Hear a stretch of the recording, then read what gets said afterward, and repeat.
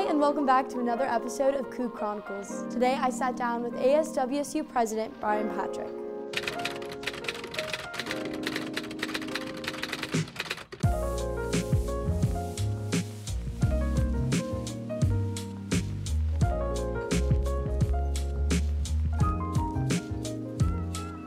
Getting started, do you want to introduce yourself? Yeah, hello. So my name is Brian Patrick. I'm the student body president. I was born and raised in Yakima, Washington, and then had my parents went to WSU, uh, two older sisters who went to WSU. So grew up going to Coug games. Always knew I wanted to be a Coug. Caught uh, Klay Thompson's last game here at Beasley, so always knew I wanted to be here. And what um, motivated you in your time at WSU to run for ASWSU president? I got involved in a business club called SHRM, which is Society for Human Resource Management. Um, became president of that during COVID and everything, but that was a lot of fun. Um, and one of my best friends who I met, and he's actually the vice president now, Alex Pan, he had been doing ASWSU for three years.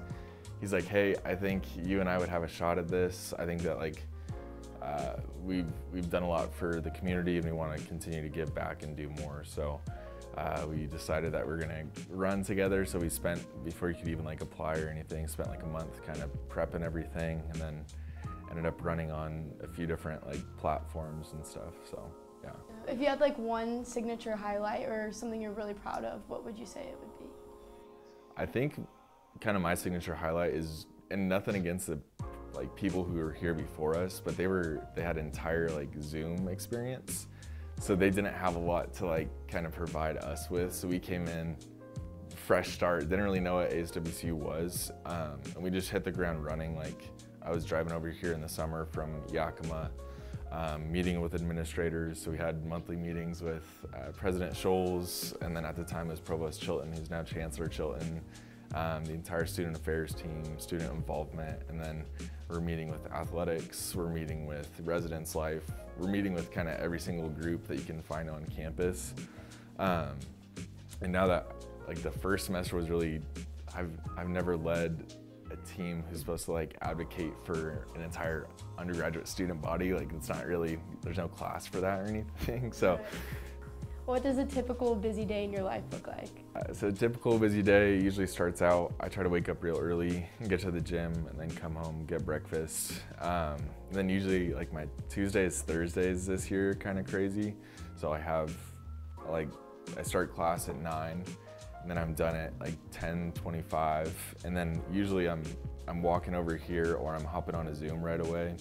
Um, and I have committee meetings, so that could be stuff about the UREC, that could be stuff about athletics, that could be stuff about uh, the CUB. It could be, there's like executive budget councils where we look at the entire WSU financial system um, and then we like debrief it and try and see on ways we can improve that, which like what one WSU is. And then I go to class from 12 to like 3.55 or 4 we start presentations at four. So once I'm done with class, I'm in presentations till like eight.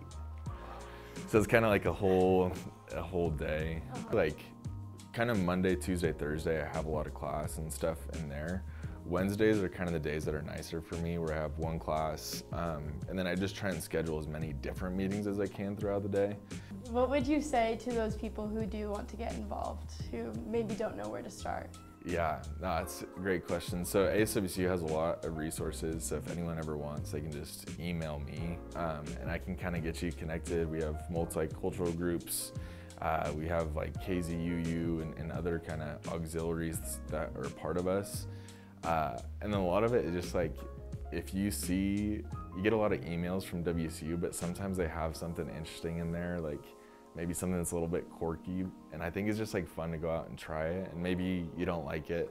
Um, and that's, I don't know, it's fun. It's like part of college. It's part of like living is you're not gonna enjoy every moment uh, of like your college experience. But when you get involved, you find like these little communities um, that like make you feel like you're really a part of WSU and like part of the family that's here. Like my dad worked in uh, KZUU, which is a little radio station down the road, and he still whenever he comes into town, he like goes and checks it out and stuff. Just because he's like, I, I loved it there. Like it was such a great experience for me to get involved. And since you are the voice for the students, what would you say for if people have something that they feel passionate about that they want driven forward within the community? How can they reach you? So if you just type in like to your Outlook school email aswc.president at wc.edu. Um, I'm busy, but I try to make time for students, especially when you have like concerns going on around campus. Um, so just shoot me like, you know, hey, I want to meet with you, or hey, this is something I'm noticing, and I'm happy to get back to you on that. Uh, and then the other way too is we're up in CUB 314, and I'm here. If I'm not in class, I'm probably here. So like eight to five, Monday through Friday. There's someone, uh, usually in one of these offices, that can help you out too, or, or try and find some sort of solution my days like don't have to be that busy, but I like to try and talk to as many people as I can throughout the week. So some weeks it's less, um, but some weeks it's definitely a lot more.